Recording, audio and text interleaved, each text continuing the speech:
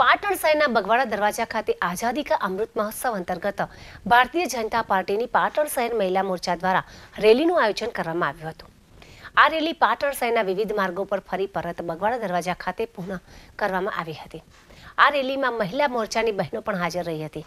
પ્રમુખ હસુમતી બહેન દ્વારા આઝાદી કા અમૃત મહોત્સવ વિશે વધુ માહિતી આપવામાં આવી હતી.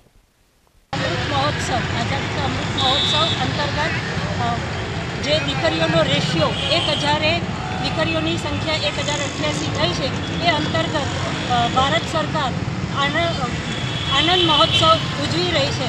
એટલે દીકરીઓનો રેશિયો વધે એનો આનંદ વ્યક્ત કરવા માટે ભારતીય જનતા પાર્ટી પ્રદેશ તરફથી આઝાદી કા અમૃત મહોત્સવની રેલી તરીકે દીકરીઓનો આનંદ વ્યક્ત કરવા માટે રેલીનું આયોજન કર્યું છે.